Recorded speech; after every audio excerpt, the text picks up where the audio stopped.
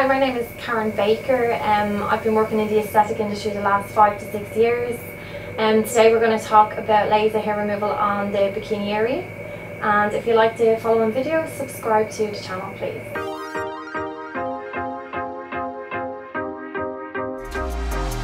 Do you find clients usually find it difficult to shave the area if they're used to waxing? yes.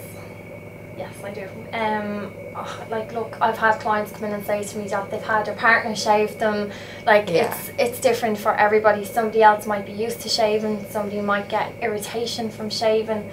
It's completely different, like yeah. for everyone. So yes, I do find some clients find it difficult, and then other clients get their partners to do it, and yeah. other clients. I guess when you're asking to be clean shaved, it is a 45 minute job. Yeah. If you're on, on the onset of treatments, if you're going to properly mm. prepare for treatments. So I think like that, breaking it up, it helps a lot yeah. in that scenario. I actually had a client before um, who had she was on all fours in the bath and had her partner shaving around the back for her oh my God, to try and prepare for her. Very honest, but let's face um, it, like it's just it's the truth. So, I mean, it is a difficult area to get to.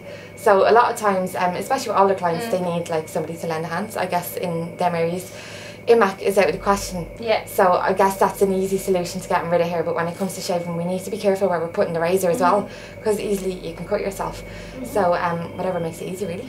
Yeah. Well, look. I mean, they're the stories you hear every day. It's yeah. just something that you wouldn't obviously know about if you're not coming in and out, and people obviously aren't going to talk about it. Exactly. You know, but it is the truth. And that's why we're here is to share all the information on how you can prepare for treatment and what our clients' experiences are and what they do to prepare, prepare for treatment. And it's, yeah, it's pretty much honest, isn't it? What's post-treatment guidelines that you'd give to clients after having a bikini laser? Post-treatment, definitely don't kind of go to the gym, sauna, steam room, anything like that for at least 48 hours. Anything that's going to re-stimulate heat back into the area, I would stay away from. Yeah. Um, we're looking to cool down the skin after, we're not looking to heat it back up. That's when you're looking at irritations and yeah. stuff like that. Um, let me see, I probably would say exfoliate in about five days after. It mm -hmm. does help remove that dead cell debris so the hair does fall out that yeah, little bit easier. encourage the shedding to happen that bit Yeah, no, I have to be careful when I say that as well because clients do expect to see the hair falling out. Not every client will see that. They yeah. might see patches, lighter hair growing back yeah. Things like that. It's also understanding that it takes four to six yeah. weeks for the shedding process to actually happen. Exactly. So, I mean, you're obviously definitely aloe vera or a post treatment uh, balm for the skin that's probably coming from the fridge, something cool. Yeah. Just to help exactly. cool the skin down. And to keep on top that way. That's it. There's not a lot to it. It's just to keep the area you cool and stay away from heavy exercising. And then just uh, loose clothing to not irritate the area. Exactly. Other than that, I think yeah, you've yeah. that's it. And that's just for like two days after, you know. Mm-hmm. Um, so, in all experience, based on your experience mm. treating, being a specialist doing performing laser treatments for the past a few years, um, what is the general feedback from your clients on how they benefit from having laser hair removal treatment compared to methods that they've used in the past? Alright, it's going to probably sound a bit cheesy, um, but most people will actually tell me how much it actually changed their life. Yeah.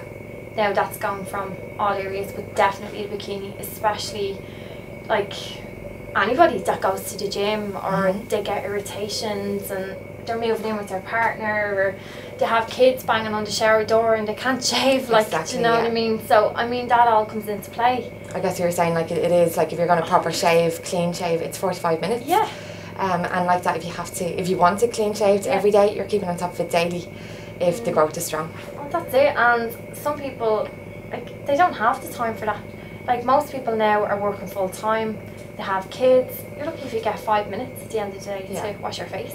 Yeah, so it's it's mainly the inconvenience with other methods and yeah. the convenience that you have. 100%. But obviously having the hair gone and not even to have to worry about picking up a razor mm-hmm. or booking a waxing appointment and letting your hair grow for that wax appointment. It's really just convenience in the end. But what I find as well, uh, not only the bikini area, but in general, people say that they're more happy with the skin texture on the area more yeah. so than not having hair on the area because mm-hmm. it's an overall improvement on how the skin appears. Well, that's it. You're because the pores and all are gone. Exactly, and you're not getting that stubble on the skin constantly as well. Yeah. Like so, to get the texture of the skin. And then tan and all goes on nice and smoothly if they're wearing artificial tan. Yeah. So it's an all-round win-win. Well, yeah, I actually had a client say that she actually couldn't stop feeling her bikini line because So smooth, like baby skin. That. So that's another story. Great. Well, thanks, Karen, for problem. running through all the um, ins and outs on bikini today. no problem. If you guys have any more questions, as you know, um, we're more than happy to share with you um, all the experiences with laser and to go through all the pros and cons with treatments in the aesthetic industry. So feel free to leave any questions that you have in the comments below this video and I'm also going to leave um, a couple of links with other videos based on bikini uh, laser hair removal to give you more information around that topic. Make sure to subscribe to the channel and uh, you'll be notified on any videos coming up. And as always, feel beautiful, be happy, confidence is key.